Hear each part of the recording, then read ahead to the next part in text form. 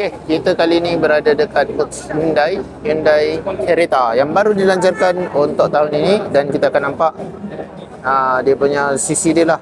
Untuk model ni dia pakai Smart Stream G 1.5 petrol 115 PS serta 143 Nm torque. So dari segi power engine yang dihasilkan tu Firebee ok untuk dia punya torque lah. 143 consider ok lah cukup Okay, so kita lihat terus kepada body kereta yang consider cantik ni rupa paras dia. Ada sikit macam ada orang kata macam Triton juga. Sebenarnya Hyundai pun dah menggunakan uh, design lampu headlamp pada bahagian bawah start daripada Santa Fe.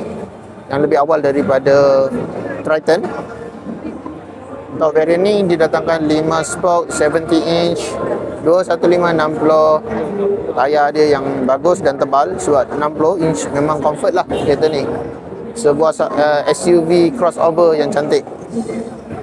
Uh, pada saya quiet be okay dan masih critical sebab senang nak jaga engine 1.5 NA gearbox dia IVT so dia lebih cekap daripada CVT Dah jom kita let's go kita masuk bahagian dalaman.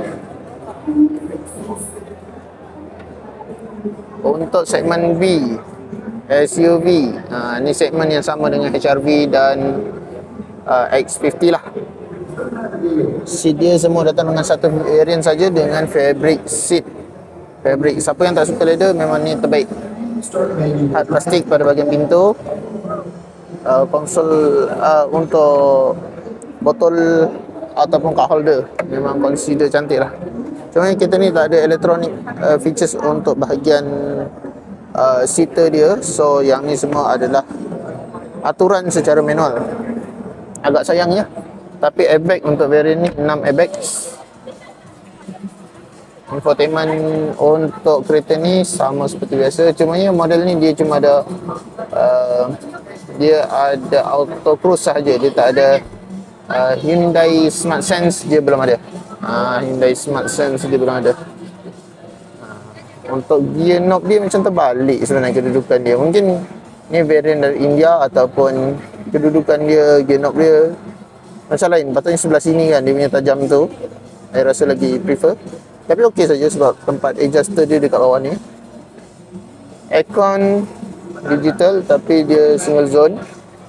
Infotainment biasa lagi kereta ni dari segi driving traction apa semua dia ada lah. Uh, untuk driving traction. Cuma pada saya kereta ni agak quite bit expensive lah untuk harga dia. Tapi kereta ni consider CBU jadi tak boleh ada kata apa lah. Harga-harga CBU 150k untuk CBU unit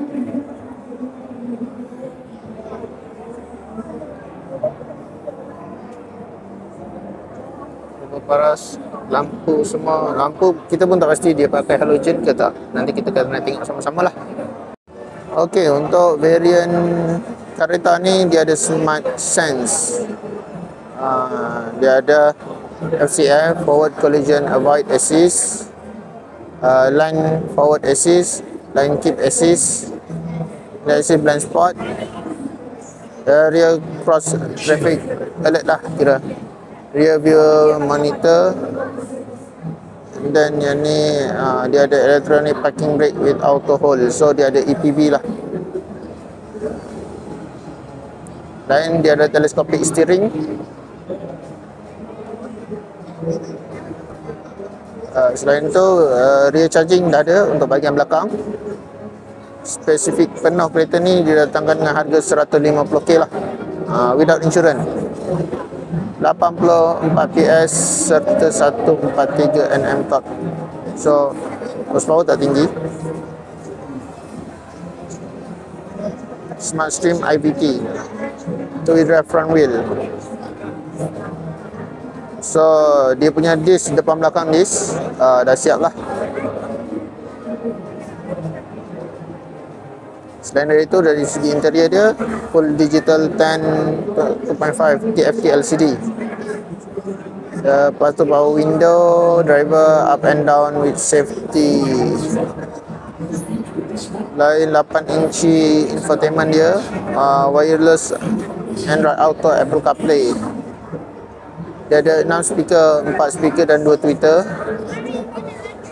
itu sajalah smart key dah ada remote uh, start function pedal shifter drive uh, drive mode select dia ada empat lah eco normal smart dan sport. Ok itu saja untuk kereta yang baru ini